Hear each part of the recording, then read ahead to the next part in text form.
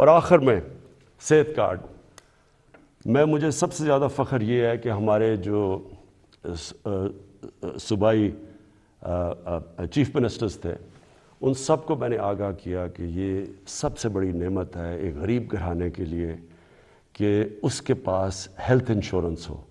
जब भी वो आ, एक कोई घर में बीमारी हो तो उनको ये खौफ ना हो कि हम हॉस्पिटल में जाके अपना इलाज नहीं करवा सकेंगे।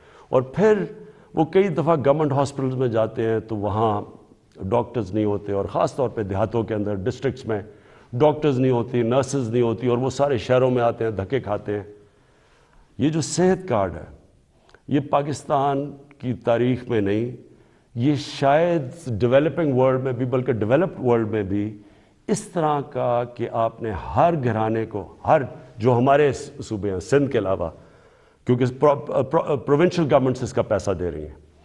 हर घराने के लिए हम इन मार्च के आखिर तक पंजाब में हर घराने के पास सेहत कार्ड होगा। हर ख़ानदान दस लाख रुपए तक किसी भी अस्पताल में जाके इलाज करवा सकता है। ये ज़रूरी है समझना। पहले तो होता था नहीं गवर्नमेंट हॉस्पिटल अब वो प्राइवेट हॉस्पिटल में जाके इलाज करवा सकता है। और हर घराने के पास ये सेहत कार्ड होगा। और इन ये पूरा एक हेल्थ सिस्टम बन बन रहा है पाकिस्तान में। अभी से छोटे छोटे हॉस्पिटल देहातों में जाना शुरू हो गए क्योंकि देहातों में हमारे गवर्नमेंट हॉस्पिटल में डॉक्टर्स नहीं होते कई दफ़ा। तो प्राइवेट सेक्टर जाना शुरू हो गया। और मेरी ये ख्वाहिश थी कि पाकिस्तान में एक पूरा जाल बिच जाए हॉस्पिटल्स का। तो गवर्नमेंट के पास तो कभी भी इतना पैसा नहीं आना था तो अब प्राइवेट सेक्टर के लोग खुद जाएँगे, क्योंकि अब हेल्थ कार्ड होगा।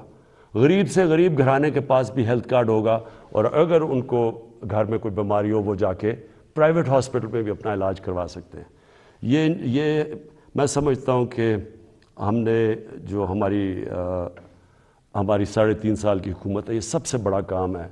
क्योंकि जब कोई घर में एक बीमारी हो और आपके पास पैसा ना हो तो इससे ज़्यादा एक ख़ानदान की बेबसी का आलम नहीं होता। मैं आखिर में आपके सामने अपनी कौम के सामने ये कहना चाहता हूँ कि मुझे पता है ये मुश्किल हालात हैं।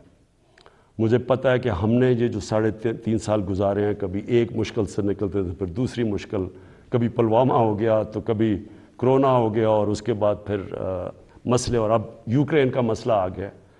लेकिन ये मैं आज आपको कहता हूँ कि सारा वक्त मेरी और मेरी हुकूमत सिर्फ़ एक चीज़ सोचती है कि हम आपके ऊपर किस तरह ये जो आपके ऊपर बोझ पड़ा हुआ है, ये हम कैसे कम कर सकते हैं?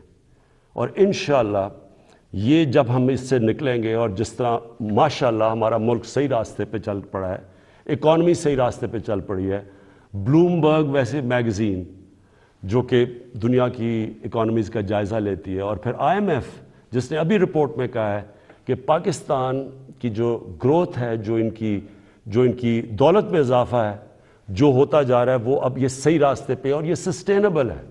ये बहुत बड़ी चीज़ है कि एक मुश्किल वक्त से निकल के आज पाकिस्तान सही रास्ते पे निकल चुका है। पाकिस्तान पाइंदाबाद।